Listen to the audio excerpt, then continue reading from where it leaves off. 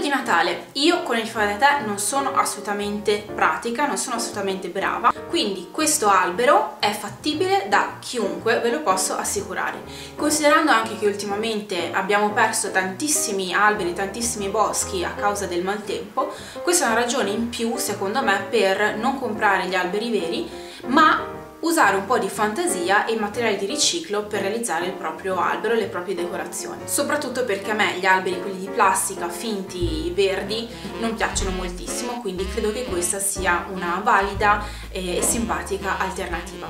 Se vi è piaciuto il video lasciatemi un like come sempre, iscrivetevi al canale, cliccate la campanellina per non perdere i prossimi video che caricherò sul canale, seguitemi sui social, Facebook ma soprattutto Instagram che aggiorno anche più volte al giorno quindi se volete farvi un po' gli affari miei, vedere le mie fotografie, vi aspetto su Instagram. Se realizzate l'albero, fatemelo sapere, quindi scrivetemi, lasciatemi un commento, taggatemi su, su Instagram, meno male son golosa o Elena Policella mi trovate, mi trovate su Instagram e mi farebbe molto molto piacere.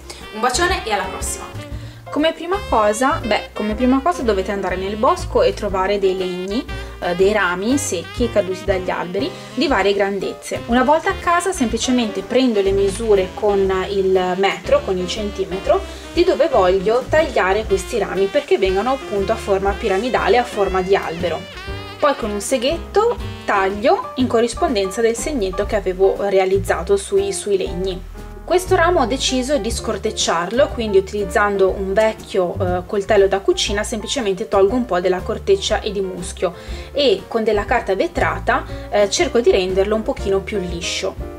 A questo punto riprendo le misure, sempre aiutandomi con un righello, dei punti in cui voglio che passi il mio cordino, la corda, e semplicemente faccio dei nodi, annodo la corda intorno ai legni eh, tirandola bene. Se avete gli strumenti potete anche forare i bastoni eh, e passare la corda all'interno dei fori, però ho visto che questo metodo molto semplice e alla portata veramente di tutti è anche molto valido. Quindi semplicemente io avvolgo intorno a tutti i bastoncini la mia corda, sempre tenendola ben distesa e ben tesa. All'apice dell'albero, quindi nel pezzettino più piccolo di legno, inserisco una vite a uncino e questo sarà appunto il mio gancino per tenere appeso l'albero. Come ultima cosa metto un punto di colla a caldo, ma potete utilizzare tranquillamente anche la colla vinilica, la semplice colla vinilica, a fissare il punto dove ho fatto il nodo su ogni bastone.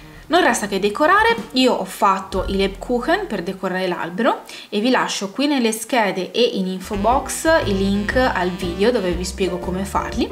E poi ho fatto anche dei semplici angioletti con i tappi di sughero, dei nastri di tessuto e della colla e ho colorato delle pigne che ho sempre trovato nel bosco con degli ombretti glitterati che non usavo più. Quindi semplicemente ho spennellato le pigne con della colla vinilica e ci ho rovesciato sopra i glitter. Ed ecco finalmente pronto l'albero a cui non potevo non aggiungere una sfilza di lucine a led. Ora non resta che ricevere un sacco di regali